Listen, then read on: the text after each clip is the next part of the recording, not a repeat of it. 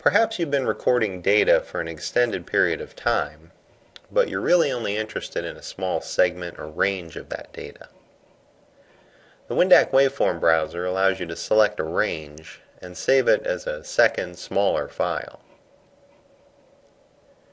In this example, we have a seismogram recorded over about 20 minutes or so. But we're really only interested in the first few seconds of a tremor.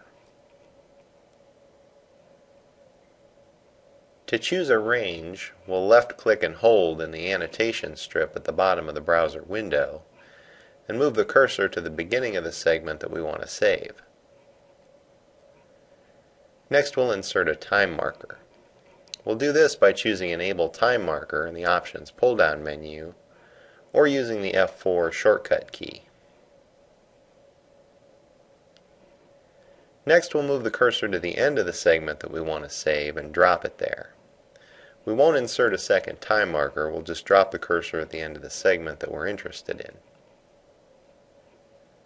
Finally, we'll choose Save As from the File pull-down menu,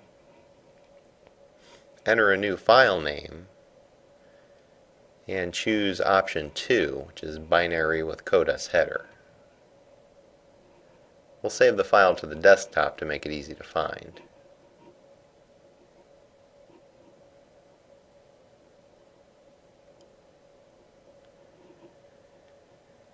As you can see, the newly created file contains just the data between the time marker and cursor. As always, data contained in the newly created file can be saved in Microsoft Excel format as well.